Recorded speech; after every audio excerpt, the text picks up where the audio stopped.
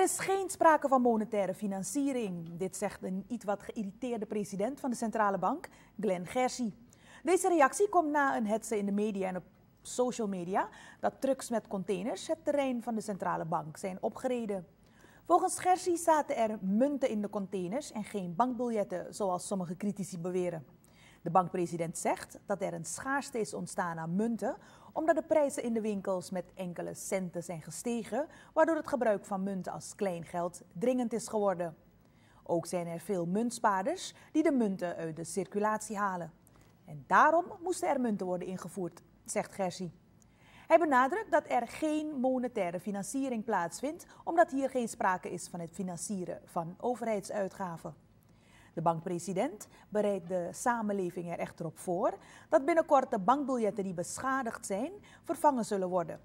Er zullen dus weer containers het terrein van de centrale bank oprijden, zegt hij.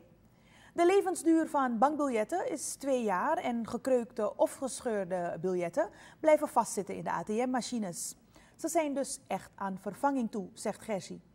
Gersi brengt in herinnering dat hij een MOU heeft ondertekend met de minister van Financiën, waarin is afgesproken dat er niet tot monetaire financiering overgegaan zal worden. Volgens bankpresident Glenn Gersi wordt er dus onnodig paniek gezaaid met de berichtgeving dat de centrale bank ertoe zou overgaan om monetair te financieren.